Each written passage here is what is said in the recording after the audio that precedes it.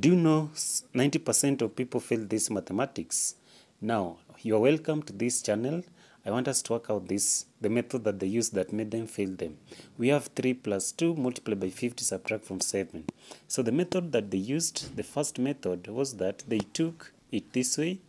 They had 3, add to 2, multiply by 50, subtract from 7.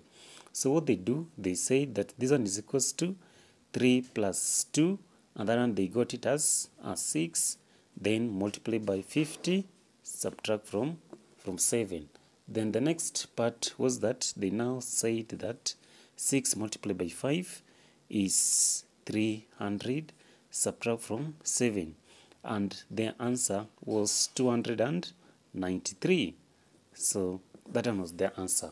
So the question is do you think that this maths problem they work it out properly you can pause this video then calculate your own then we see or we compare the answers as after this I believe that once you've calculated and you got the right procedure, you'll find 293 as the as the wrong answer. Why am I saying this? Let's use the correct method.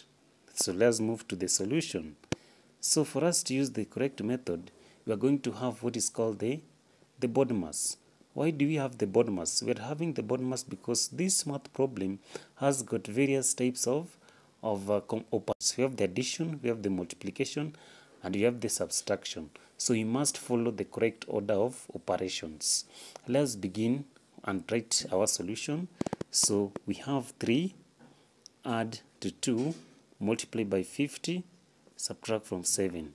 So the first part that you need to do is that we need to check the, the, the BODMAS. B stands for bracket, O stands for of, and D stands for division.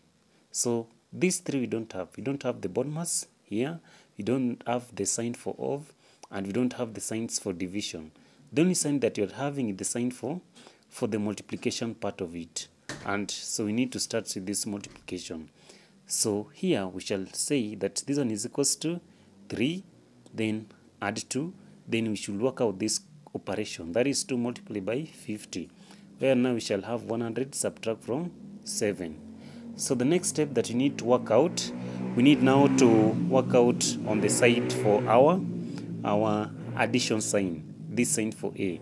And in our addition sign we no longer we now have 3 add to 100 and our answer is 103 then now we subtract from from 7 so the last one that is subtraction is working out this math problem that is 103 subtract from 7 so when you work out 103 subtract from 7 I know that the answer that you guys you've got is 96. So the correct answer now falls at 96. We can compare these two answers. The one for 96 for 293. So this one is correct because it follows the correct order of operation. This one most people got wrong because they didn't follow the correct order of operation. So let's stop there. See you in the next video. Bye bye. Remember to subscribe and like this video. Thank you.